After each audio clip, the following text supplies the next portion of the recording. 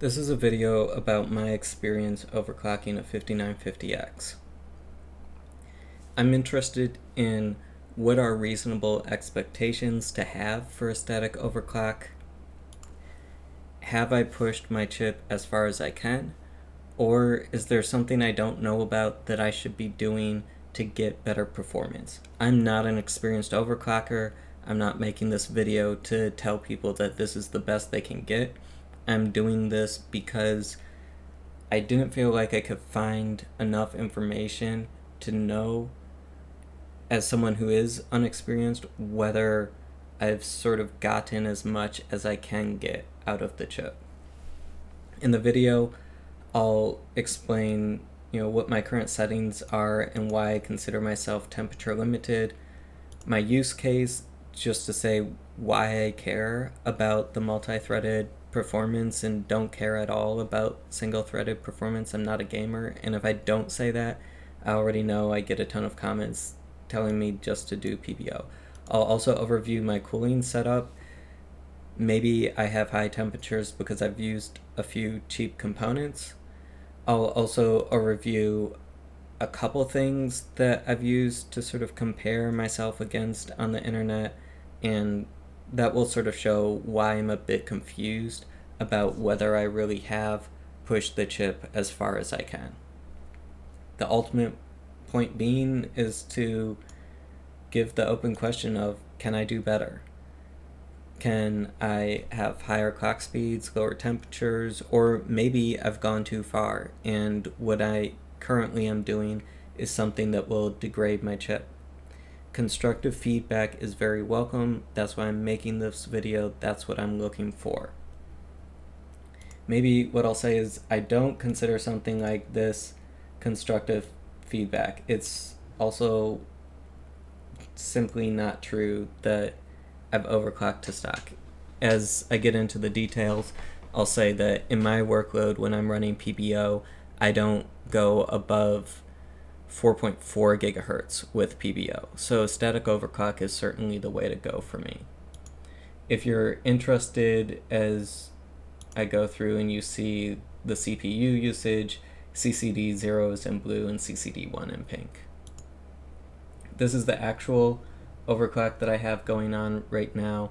Uh, what you just saw, the 4.575 gigahertz overclock, was before I got per CCX working on my CPU, and I sent I had to contact Gigabyte tech support essentially to get the per CCX working at, at least within Linux, which is where I'm at. I'm not going to be able to give you Cinebench numbers or anything like that.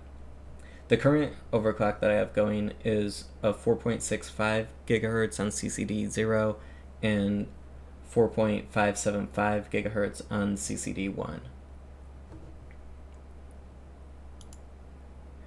Why am I temperature limited? Well, look, I'm sitting at 82 degrees Celsius here. From what I've understood online, I shouldn't be going over 85. And what happens in my workload is I'm running some code, a simulation for school. I'm a grad student that uses 25 threads. And what will happen is I'll see it on here. Maybe 20 of the 25 threads will finish around the same time. And when that happens, I'll get a temperature spike that's two to three degrees Celsius higher than what I've been at in steady state. I don't know if that's due to poor transient response or if it's just the voltage going up because of the load line calibration settings where if there's less current draw or something there's a voltage spike or, or maybe it's something completely different that causes those temperature spikes as I finish a workload. It, and it's not like a one-off. What I'll say is so my use case is running these simulations. I'm not a gamer I would imagine that the stuff I'm saying is relevant to video editor editors or whoever is also interested in some multi-threaded workload for the chip. it's not the case that it's a short one off. In the current job, I'd say I get those temperature spikes maybe once every hour and a half. There's some other jobs where it's more frequent, just depending on the sort of simulation that I'm running.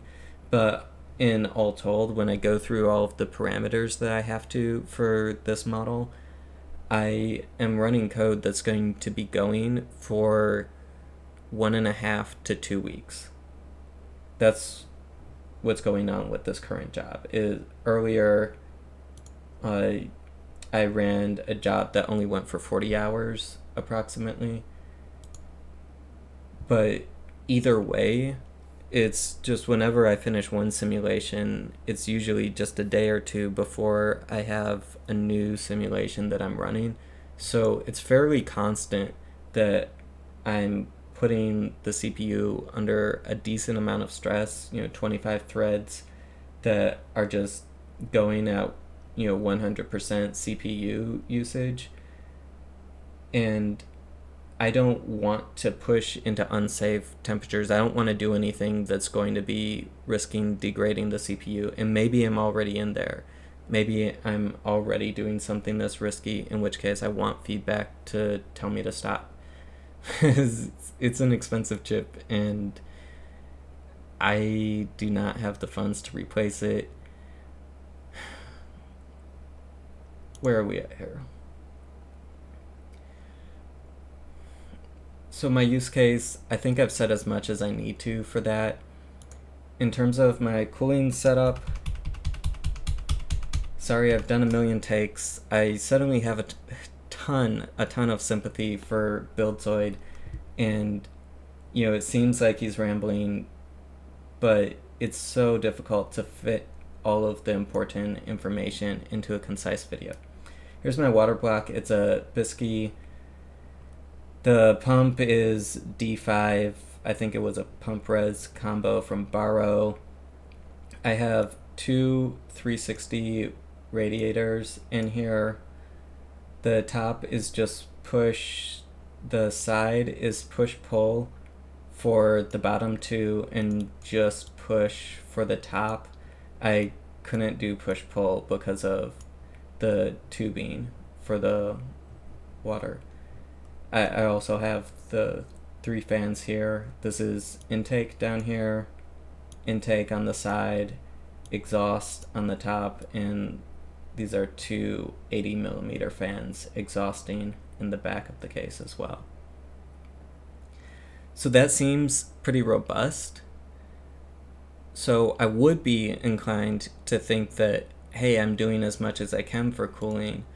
Only, you know, that is a relatively cheap water block. The radiators were maybe 20 bucks a piece on Amazon. They're unbranded, but a reviewer suggested that they're the Freezemod rads. Certainly when I got them, they had the red caps in here, like these Freezemod copper rads. So I think that's what I'm working with. Certainly they're 28 millimeter thick rads. They're not super dense fins. So maybe that's a weak point in the system.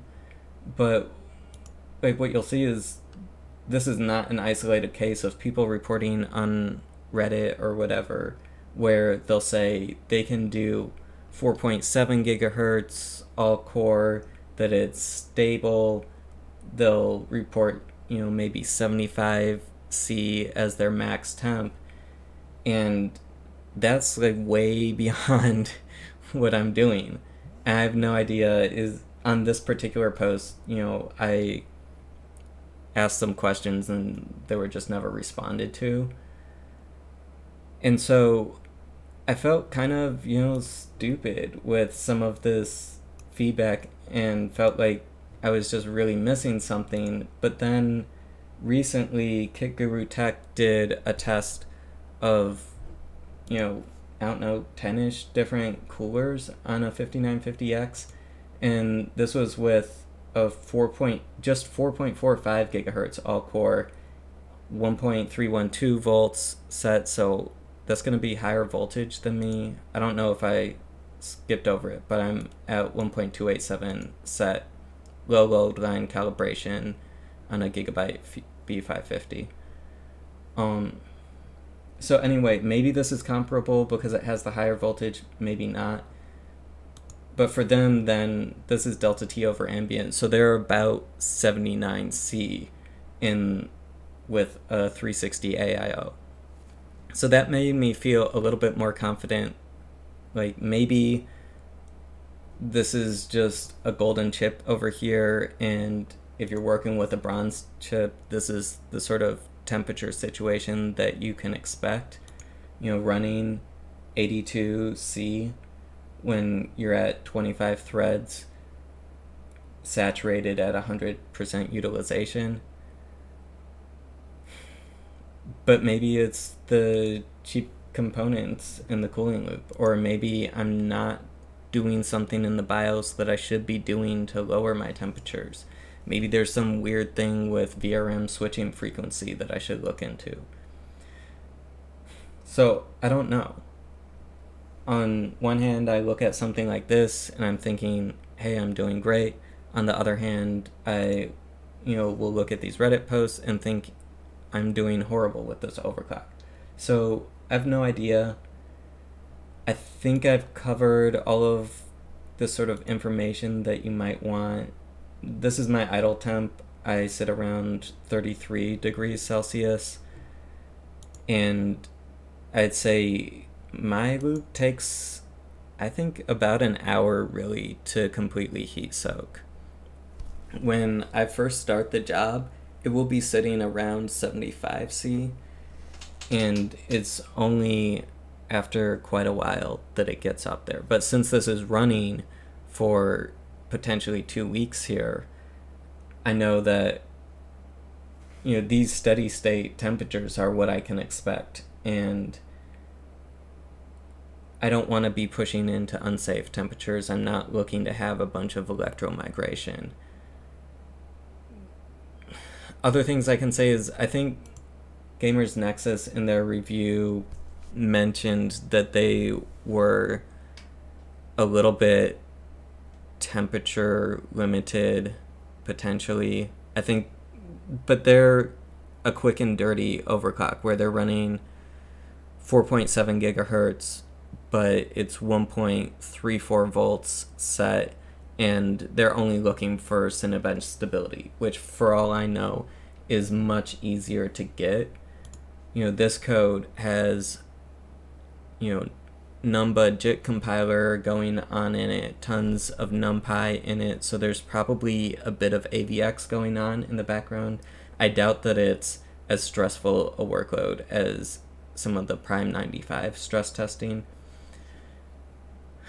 But this is stable. I know that I can run code that's heavily multi-threaded for a solid week, I think is the longest stint I've done so far.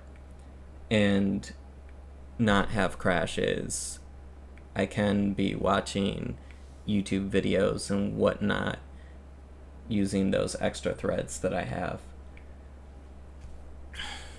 I hope that's sort of helpful expectation setting and also enough information for those who do have the experience to give me some constructive feedback on this. That's what I'm really looking for.